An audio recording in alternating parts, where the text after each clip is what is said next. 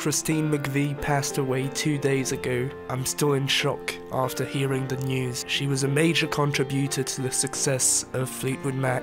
Anyone who loves the band knows how important she was. She protected Stevie. She did not want Lindsey out. She was completely impartial within every Fleetwood Mac drama. Christine was obviously a great songwriter and keyboardist, and my god, she had such a beautiful voice. Songbird, Don't Stop, Say You Love Me, Wish You Were Here, Why, You Make Loving Fun, so many beautiful songs. I obviously haven't mentioned all of them. I say she was just as good as Lindsey and Stevie, probably even better. We love you, Christine.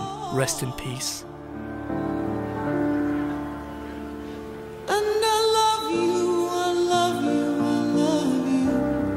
like never before.